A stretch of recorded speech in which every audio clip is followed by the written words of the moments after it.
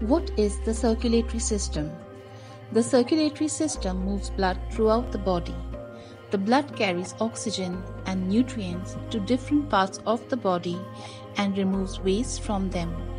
The organs of the circulatory system are the heart and the blood vessels. The heart. The heart is at the center of the circulatory system.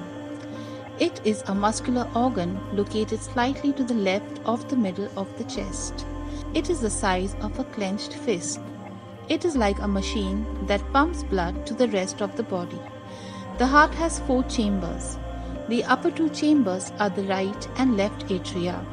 The lower two chambers are the right and the left ventricles. The chambers are separated by walls.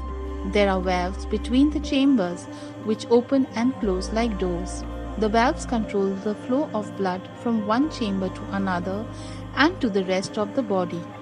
The valves ensure that blood flows throughout the heart in one direction only. Blood vessels. The tubes that go in and go out of the heart are called blood vessels. They are like the pipelines of the body carrying blood to and from the heart. There are three main types of blood vessels like arteries, veins, and capillaries. Arteries carry blood rich in oxygen from the heart to the body.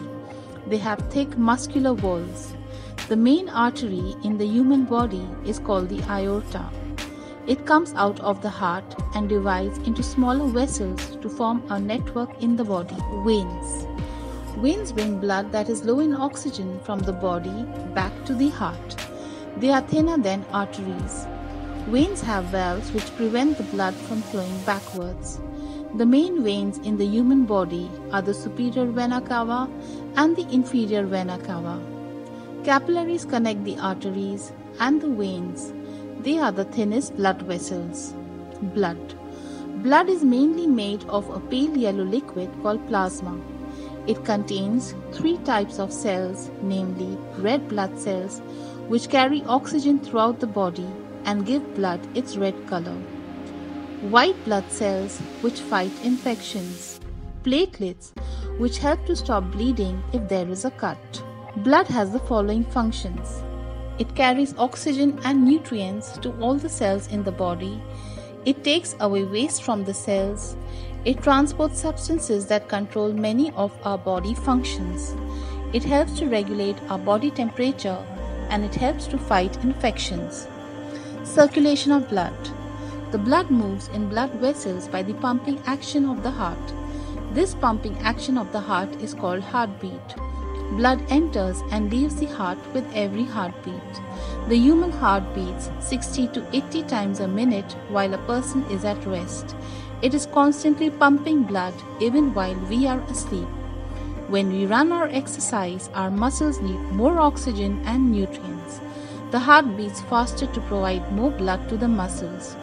After we stop exercising, the heartbeat gradually slows down. Process of circulation Oxygen poor blood from the body is carried by the superior vena cava and the inferior vena cava to the right side of the heart.